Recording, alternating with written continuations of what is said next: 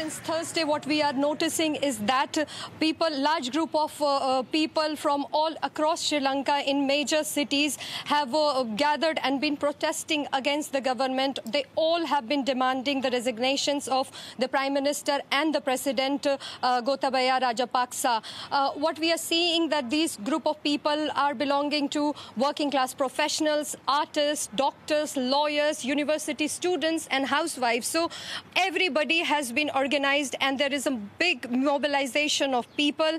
And what is special about these protests is that uh, they are even happening during the night and uh, most of them are not uh, organized protests. They are sporadic in nature.